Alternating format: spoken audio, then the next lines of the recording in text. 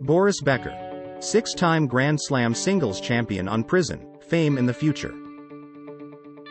Flyby drones deliver smoothies, salads, sushi for $3 a flight, CNET. Trump wasn't put under a gag order, but he was told to watch his words. The CEO of Japan's biggest airline says he has no plans to get rid of the world's largest airliner. See inside ANA's A380, which is painted to look like a sea turtle. A NBA superstar went from keeping cash in multiple bank accounts to investing in two sports teams and launching an ETF. Here are four of Giannis Antetokounmpo's business ventures. The next threat to Airbnb. Superhosts want to leave the platform and take their listings with them.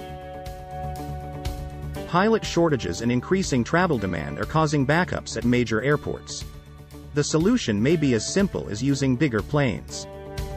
The Wisconsin town settled an election tie with a dice roll after also considering pulling names from a hat and drawing straws.